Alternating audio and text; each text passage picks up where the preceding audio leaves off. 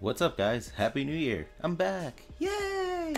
And what a good New Year 2017 present than seeing Star Wars Rebels drop their new trailer. This shit was awesome. I watched this and I was like, I have never been so excited for a cartoon ever in my life. And I love Star Wars Rebels. Um, so let's do a step-by-step analysis. I'm gonna freeze the frame at certain points and talk about all the important stuff. So let's get to it. And holy shit, right there, there's Obi-Wan Kenobi. Holy crap. Looking at the hollow of him warning all the Jedi uh, basically to hide and everything like that. That was a good way to start the trailer. Skip to Thrawn, and then we see, holy shit, TIE Defender. Okay, so we all knew this was coming uh, from the previous episode of Rebels, but holy shit, there it is, TIE Defender in the flesh. That's pretty cool. Alright, and then we keep going. We see uh, freaking Magna Guards make a return. Chopper just got his ass beat.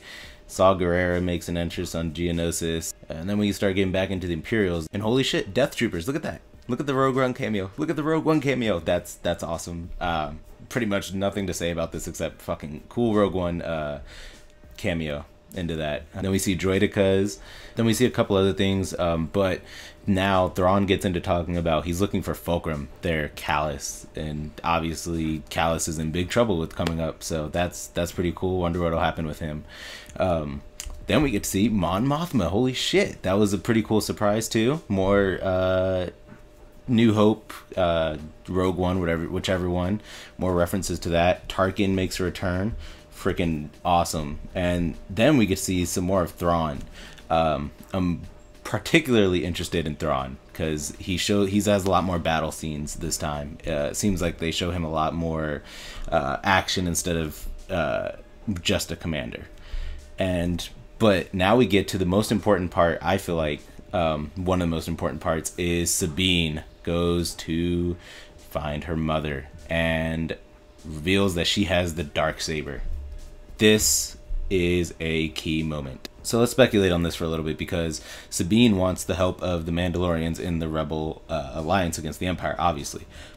Sabine's mother thinks it'll come crashing down, so she starts practicing with Kanan because with the dark saber, she'll obviously be challenged, and she needs to prove her worth as a Mandalorian to everyone else.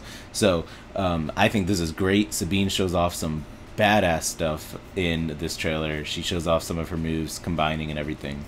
Um, but yeah, that's cool. Uh, the trailer goes back to Saw a little bit, and then it kind of just glances over the characters, doing monologues of each of their factions, basically, kind of Saw, Thrawn, and everything like that. Uh, we see a little more action from Sabine and some of the troopers, and then we see Thrawn in his badassness training, um, and then calling out anyone who speaks against the Emperor.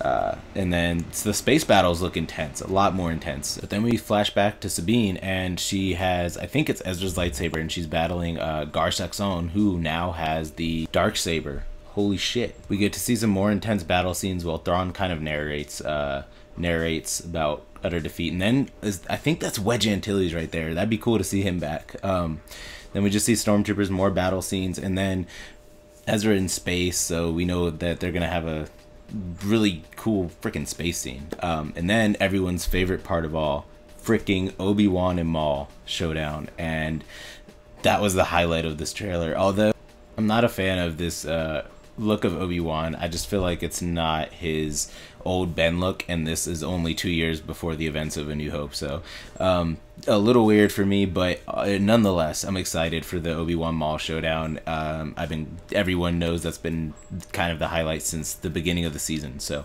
this trailer got me so hyped. This was a good trailer, just really good. So so much action, and um, it just doesn't look like they're gonna have hopefully too many filler episodes left. Uh, I mean, I guess tech, they I guess they could, but I'm hoping they lean more towards the arc of the series and not uh, put a bunch of random episodes in for this season. But uh, as far as the main stories go, uh, Sabine, all of them have their part. Like Sabine, uh, Kanan, Ezra, they all have their own little kind of plot lines, and I think that's really cool. Even Zeb got some more uh, action scenes because he's kind of been laid back in this season. He they haven't really highlighted him at all. The main se- the main focus of the season has really been on Ezra and uh, Kanan and kind of the Jedi aspect, and then Sabine kind of recently just kind of got thrust into the spotlight when she found the dark saber, but she hasn't even really been a highlight either. It's been focused mostly on just Maul, Kanan Ezra, and uh, Thrawn.